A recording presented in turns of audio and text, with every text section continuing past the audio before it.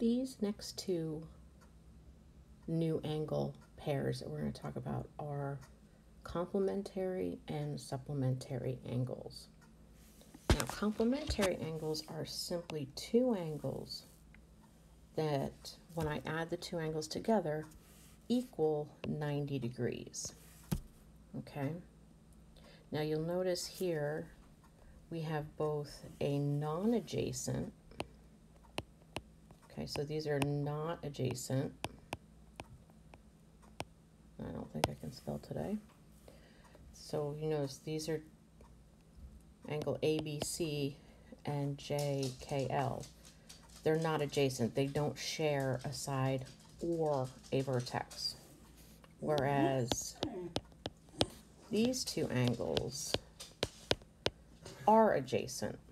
Now, thing to keep in mind, besides the fact that Molly's whining at me, um, is that for angles to be complementary, they don't need, oops, they don't need to be adjacent. The key to complementary angles is that they add to 90. So it doesn't matter whether they're adjacent or not. Supplementary angles are similar in the sense that to be supplementary angles, they don't need to be adjacent. What they need to do is add to 180 degrees. So here we have 110 degrees for angle DEF or FED. And then we have angle GHJ that is 70 degrees. And if I add those two together, I do get 180. Now, this is, this example here, UVX. Those are adjacent, obviously. And when we have adjacent angles that are supplementary, what we get is they form a line. Okay, and in our last video, we talked about um, linear pair. Okay. This also happens to be a known as a straight angle as well. Okay, so these two particular angles, they form a line they form a linear pair, are considered a straight, form a straight angle, and they are supplementary angles. All four of these terms, anytime you see them, means that we're dealing with a total of 180 degrees, okay? A straight line, a straight angle, a linear pair, or supplementary. Anytime you see any one of those four words, you know that you're dealing with something that is has a total of 180 degrees. Okay? So with that in mind, let's take a look at these two examples. Now, we said that complementary means 90 degrees. Okay?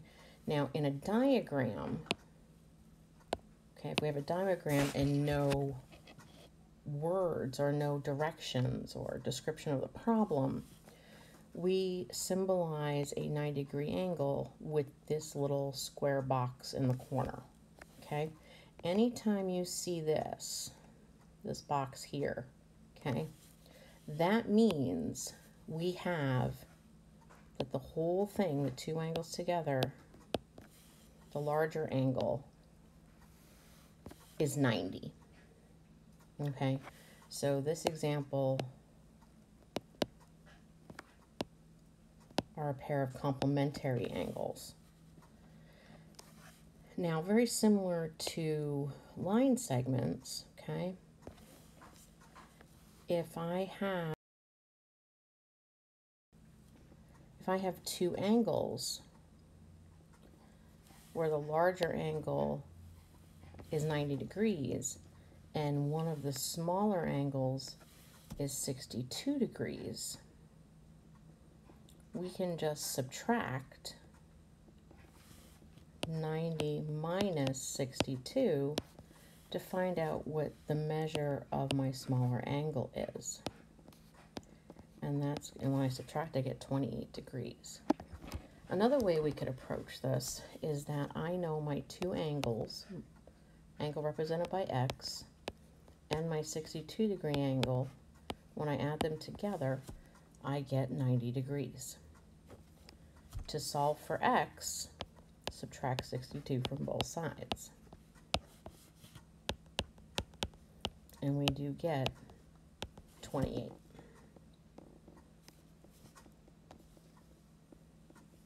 Similar situation here. I don't have any words or descriptions, but I do have a line. And I know any line or linear pair is 180 degrees. So x plus 118, those two angles together add to 180. So subtract 118 degrees from both sides. And I, see, 2, I get 62 degrees.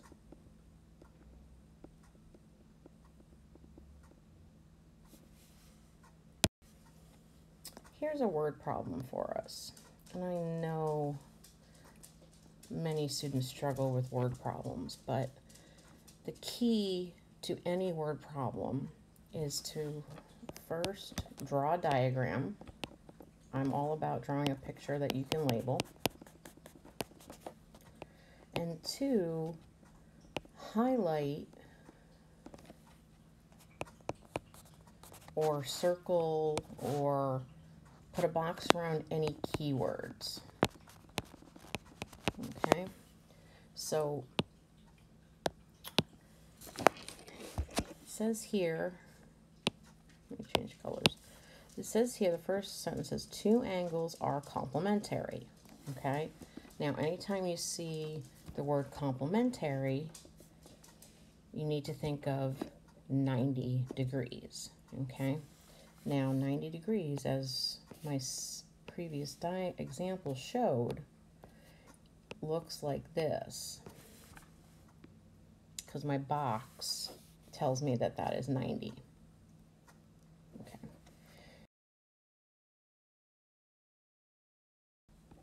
It says the measure of the larger angle is 10 greater than 9 times the smaller angle. Okay, so obviously we have a larger angle and a smaller angle. So it doesn't matter how I draw my diagram as long as one is bigger and one is smaller. Okay, now of course I'm not told what the angles are, right? But with any problem, when I don't know what the value is for something, we use a variable. Okay, so I'm automatically going to label my smaller angle as x. Oh, so complementary is 90. Okay, now in comparison, because this is what it, it's comparing the larger angle and the smaller angle. So if the smaller angle is x, the larger angle is 10 greater than 9 times. Okay, so we actually have 10 greater, okay? Now, when you're unsure of what a, what a particular phrase means, okay? I always like to put it in terms of money because money seems to really make sense to everyone. So, what I would say is like, okay, if Sam has, let's say I have $10 and my friend Sam has 10 greater, what's another another word for greater because we don't say, in terms of money, we don't say 10 greater, but we would say 10 more. So if I have $10 and she has 10 greater or 10 more, that means she has $20. Now, what did I do there? I added. Because if I have 10 and she has 10 more, that would mean she would have $20, okay?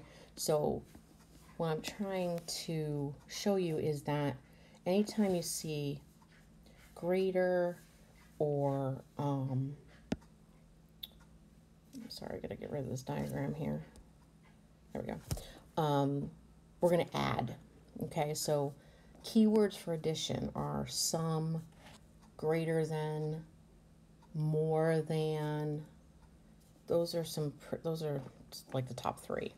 Okay, so no, so 10 more. So in terms of my smaller, smaller angle of x, I'm going to do x plus 10. And then, I, but I can't forget about the 9 times. Well, it's telling you right there, 9 times. When we're timesing, we do 3 times 4.